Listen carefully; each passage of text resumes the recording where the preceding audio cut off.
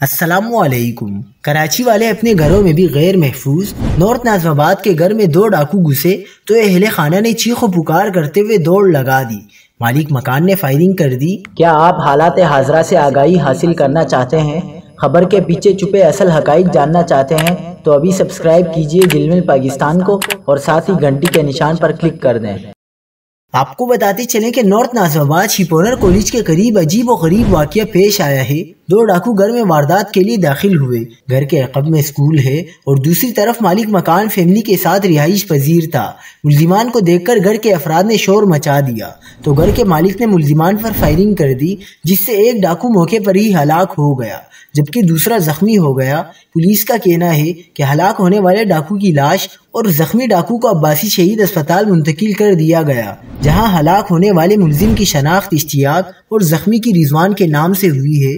Police का बताना है कि मुलजिमान के कब्जे से असला नहीं मिला।